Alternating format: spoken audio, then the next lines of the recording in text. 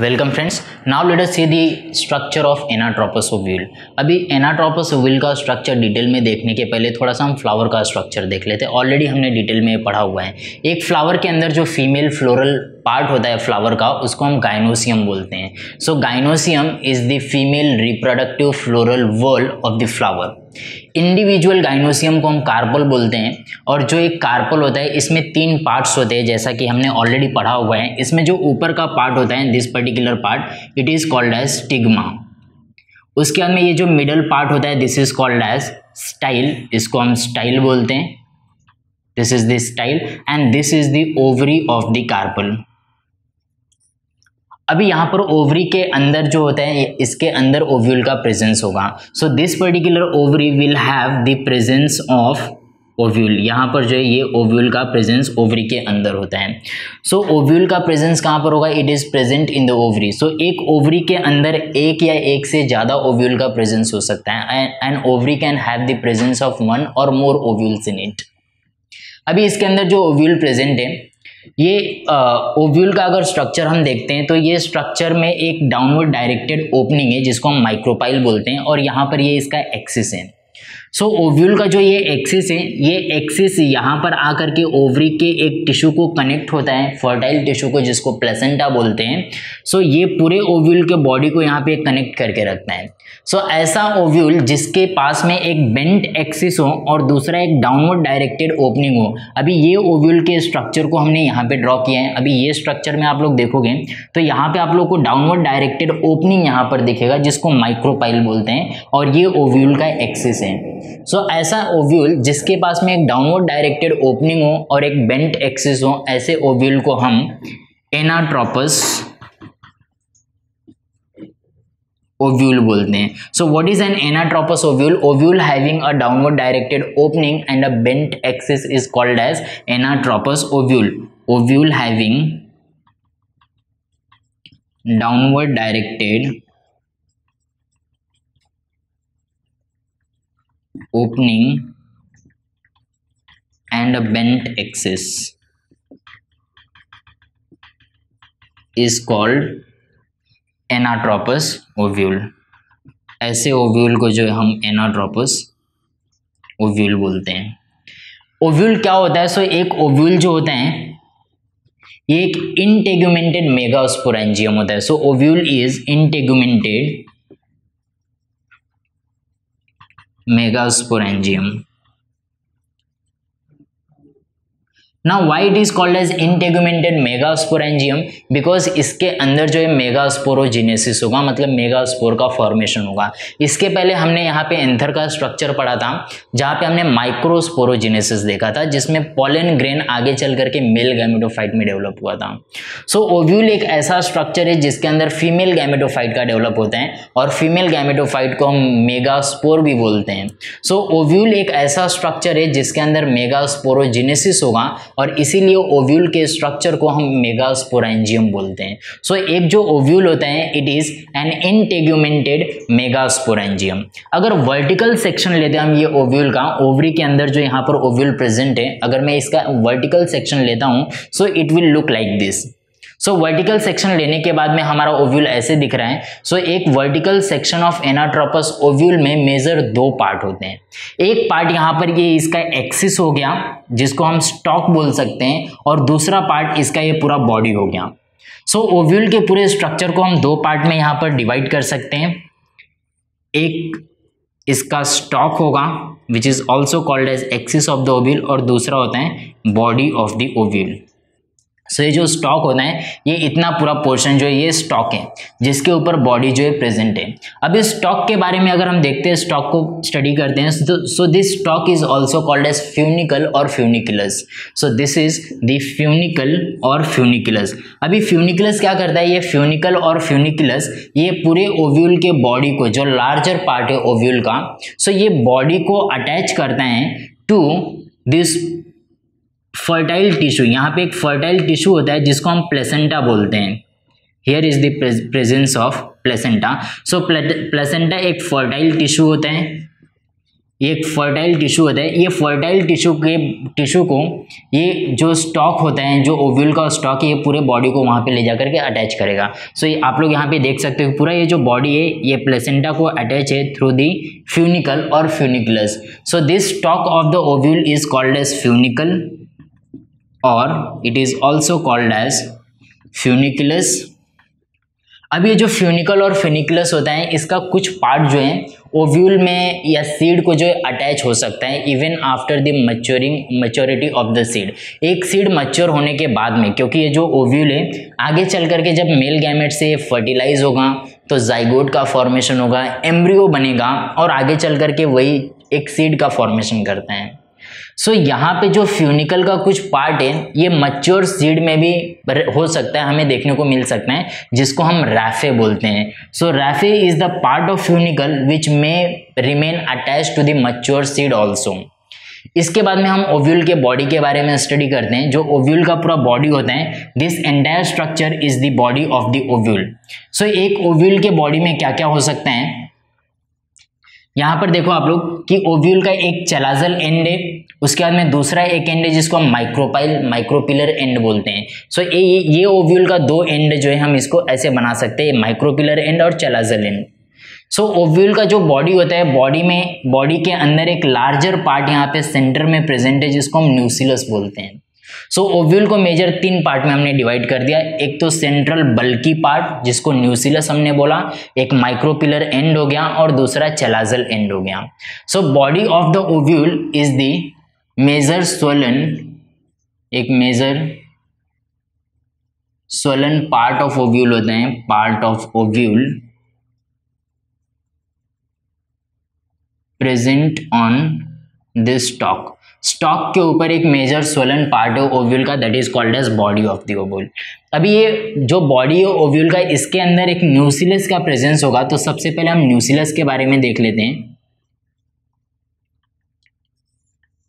जो न्यूसिलस होता है ओव्यूल के अंदर, ये nucellus major central bulky portion है ओव्यूल के बॉडी का। So it is the major central bulky portion of ovule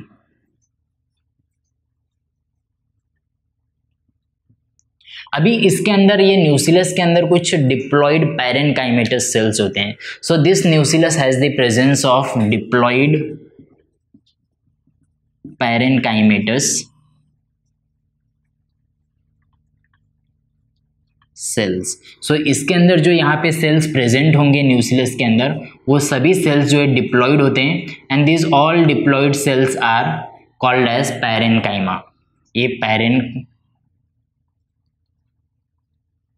काइमा cells होते हैं जो कि डिप्लॉयड इन नेचर होते हैं।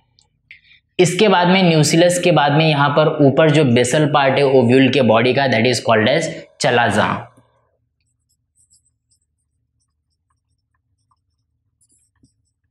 So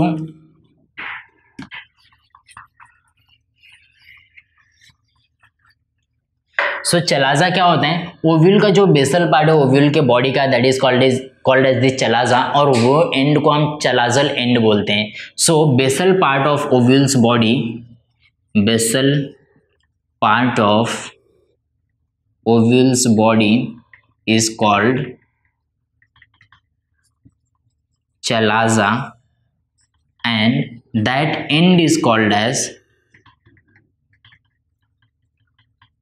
chalazal end वो एंड को जो है हम चलाजल एंड बोलेंगे। सो so, ओव्यूल के बॉडी का जो ऊपर का पार्ट है basal part that end is called as chalazal end और इसके अपोजिट जो यहाँ पर एक एंड है उसको हम माइक्रोपिलर एंड बोलेंगे। उसके बाद में ये जो न्यूसिलस है ये न्यूसिलस को एक प्रोटेक्टिव कवरिंग होता है। And that protective covering is called as integuments so third point अपने ओव्यूल के बॉडी का होगा that is the integuments So, what are the integuments? Integuments are the protective covering which protects the nucleus of the ovule's body.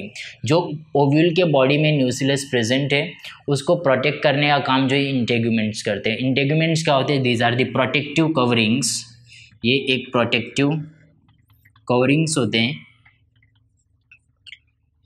which protects protect the nucellus ये nucellus को protect करने का काम करेंगे। Into integuments में हम देख देख सकते हैं कि दो लेयर है। एक आउटर लेयर है दूसरा इनर लेयर है। आउटर लेयर आगे चल करके जब सीड मच्योर होगा तो उसमें ये टेस्टा का फॉर्मेशन करेंगे आउटर लेयर और इनर लेयर जो होता है वो टेगमन का फॉर्मेशन करेगा। उसको टेगमन बोलते हैं। सो so, यहाँ पर जो आउटर लेयर है that that is called as testa and the inner layer is called as tegmen जो एनजियोस्पर्म्स होते हैं एनजियोस्पर्म के केस में जो यहाँ पर इंटेग्यूमेंट्स में दो लेयर ही होते हैं और इसीलिए ऐसे ओव्यूल को हम बाइटेगमिक ओव्यूल ओव्यूल बोलते हैं। So in case of angiosperms the angiosperms have the presence of two integuments दो इंटेग्यूमेंट्स का प्रेजेंस होने के वजह से ऐसे ओव्यूल को बायोटेगमिक ओव्यूल बोलते हैं। इंटेग्यूमेंट्स के बाद में जो है, यहाँ पर एक माइक्रोपाइल प्रेजेंट है।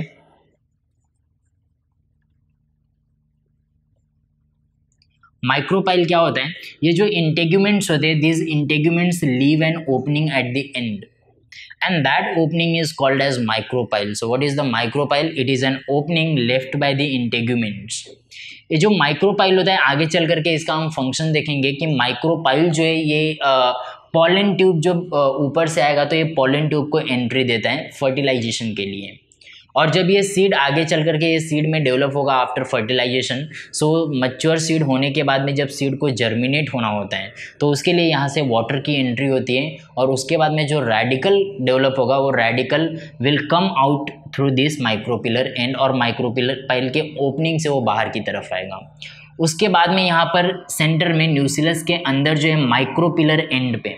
ये जो पूरा न्यूसिलस का स्ट्रक्चर है, ये न्यूसिलस के स्ट्रक्चर में अगर हम देखते हैं सो ये न्यूसिलस का दो एंड हम इसको दो एंड बता सकते हैं। ये वाला जो एंड होगा न्यूसिलस का, उसको माइक्रोपिलर एंड बोल सकते हैं because it is towards the micropyle और न्यूसिलस का जो दूसरा एंड है, उसको हम बोल सकते हैं chalazal end because this end of the nucellus is towards the chalazal end of the body of the ovule so so, यहाँ पर न्यूसिलस का जो माइक्रोपिलर एंड है ये माइक्रोपिलर एंड पे हम एक स्ट्रक्चर देख सकते हैं जिसको एम्ब्रियो सैक बोलते हैं।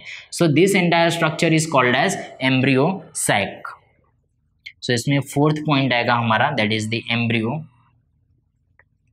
sac अब ये जो एम्ब्रियो सैक होता है, ये एम्ब्रियो सैक के अंदर जो है एग अपैरेटस एक होता है, ये पूरे स्ट्रक्चर को हम एग अपैरेटस बोलते हैं, जिसमें एग सेल होते हैं, जिसको हम फीमेल गैमेटोफाइट भी बोलते हैं, पूरे स्ट्रक्चर को हम फीमेल गैमेटोफाइट बोलते हैं। अब ये एम्ब्रियो सैक के अंदर भी जो है, हमें माइक्रोपिलर एंड पे और चलाजल एंड पे जो है कुछ स्ट्रक्चर्स दिख रहे हैं कुछ सेल्स दिख रहे हैं।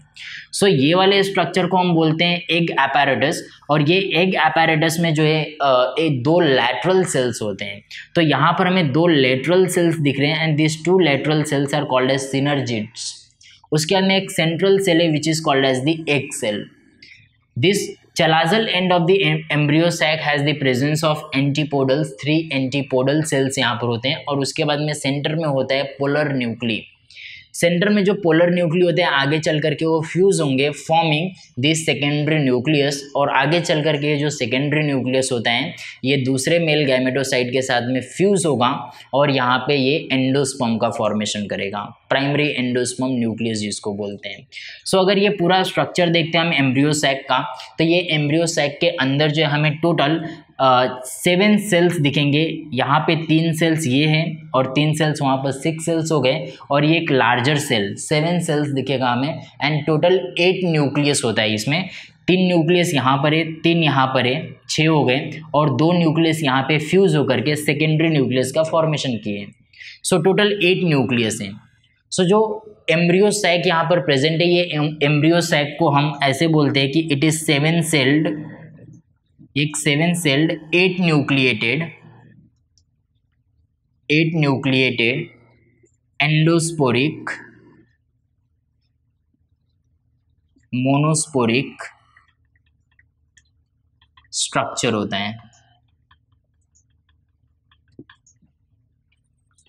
So this is all about the structure of the vertical vertical section of anatropous ovule अभी ये एनाट्रोपस ओव्यूल में जो डिफरेंट पार्ट्स के बारे में हमने स्टडी किया अगर उसके फ़ंक्शंस हम देखते हैं फॉर एग्जांपल यहाँ पे जो फ्यूनिकल है फ्यूनिकल का क्या फ़ंक्शन होगा? सो so, इसका सबसे मेजर एक फ़ंक्शन होता है कि ये ओव्यूल के बॉडी को जो है ये ओवरी के अंदर जो प्लेसेंटा है उससे कनेक्ट करके रखने का काम करेगा। दूसरा इसका फ़ंक्शन होता है फ्यूनिकल का कि it projects the body of the ovule ये ओव्यूल के बॉडी को प्रोजेक्ट करने का काम करेगा। यहाँ पे माइक्रोपाइल को ओरिएंट करते हैं ताकि ऊपर से जब यहाँ से पॉलिन ट्यूब आएगा तो यहाँ पर आने के बाद में पॉलिन ट्यूब एग्जैक्टली यहाँ पे जा सके। सो ये क्या कर रहे हैं? ओव्यूल के बॉडी को प्रोजेक्ट करने का काम कर रहे हैं। दूसरा जो फ्यूनिकल होता है या फिर स्टॉक ऑफ़ द ओव्यूल होता है, इसका इंपॉर्टेंट फ़ंक्शन ये होता है कि एक कंडक्शन की तरह काम करता है। इसके अंदर कुछ वेस्कुलर स्ट्रैंड्स प्रेजेंट होते हैं। सो जो वेस्कुलर स्ट्रैंड्स प्रेजेंट होते हैं तो ये क्या करेगा कि नीचे से प्लस प्लेसेंटा से कुछ न्यूट्रिशन को न्यूट्रिशियस मटेरियल को जो है ट्रांसपोर्ट करता है और प्रोवाइड करता है nutrition to the body of the ovule क्योंकि ओव्यूल के बॉडी के अंदर फीमेल गैमेटोफाइट का डेवलपमेंट होगा। और वो डेवलपमेंट के लिए कुछ न्यूट्रिशंस रिक्वायर्ड होते हैं and those nutritions are supplied by this funicle so funicle nutrition भी सप्लाई करने का काम करेगा। अभी ओव्यूल के बॉडी में जो न्यूसिलस होता है न्यूसिलस के अंदर जो है यहाँ पर एम्ब्रियोसेक का डेवलपमेंट हो रहा है। सो so, न्यूसिलस का एक पर्टिकुलर सेल जो यहाँ पर एक हाइपोडर्मल सेल होता है डिप्लॉयड हाइपोडर्मल सेल वो सेल आगे चल करके फीमेल गैमेटोफाइट का फॉर्मेशन करता है जो आगे चल करके एम्ब्रियोसेक फॉर्म करेगा। उसके बाद में यहाँ पर एक चलाजल एंड होता है। चलाजल एंड से जो है यहाँ पर इंटेग्यूमेंट्स डेवलप होते हैं, ये एंड से, और इंटेग्यूमेंट्स एक प्रोटेक्टिव कवरिंग का फॉर्मेशन करेंगे। और इंटेग्यूमेंट्स अगर दो, यहाँ पे दो लेयर प्रेजेंट है इंटेग्यूमेंट का आउटर लेयर को हम टेस्टा बोलते हैं इनर लेयर को टेगमेंट बोलते हैं। जब वो सीड का फॉर्मेशन हो जाने के बाद में ये सीड की कवरिंग फॉर्म करते हैं इंटेग्यूमेंट्स सो यहाँ पे जो टेस्टा होगा, वो सीड का टफ कवरिंग फॉर्म करता है, जो बाहर का कवरिंग होता है टफ होता है वो सीड का। और जो सीड का एक अंदर का कवरिंग होता है वो टफ नहीं होता है ट्रांसपेरेंट होता है और थोड़ा सा वो थीन होता है and that is called as tegmen which is form by the inner layer of the integument फिर माइक्रोपाइल का फ़ंक्शन ऑलरेडी हमने डिस्कस किया कि माइक्रोपाइल जो होता है ये पॉलिन ट्यूब के एंट्री को अलाउ करता है ड्यूरिंग फर्टिलाइजेशन पॉलिन ट्यूब कहाँ से आएगा? सो so, यहाँ पे स्टिग्मा के ऊपर जब पॉलिन ग्रेन आएगा और वहाँ पे उसका डेवलपमेंट होगा सो पॉलिन ट्यूब स्टिग्मा को पेनिट्रेट करते हुए स्टाइल के थ्रू आएगा। और यहाँ पर ओवरी के अंदर ओव्यूल का जो यहाँ पे माइक्रोपिलर एंड है, वो यहाँ से एंट्री करेगा। और जा करके वो फ्यूज़ होता है यहाँ पर एग अपैरेटस के one of the synergid cell से। उसको फ्यूज़ होने के बाद में एक मेल न्यूक्लियस जो है, आगे चल करके हम देखेंगे कि वो एक सेल से फ्यूज़ होगा। और एक सेल से फ्यूज़ होने के बाद में जाइगोट का फॉर्मेशन होता है। सो माइक्रोफाइल का एक इंपॉर्टेंट फ़ंक्शन हो गया कि ये पॉलिन ट्यूब के को एंट्री दे रहा है यहाँ पे। दूसरी बात, जब सीड का फॉर्मेशन हो जाएगा सो माइक्रोपाइल वहाँ पे वाटर को एंट्री देगा ताकि सीड जो है वो जर्मिनेट हो सके। जब सीड जर्मिनेट होगा so radicle will also come out through this micropyle micropylar end और micropyle opening so this is all about the structure of anatropous ovule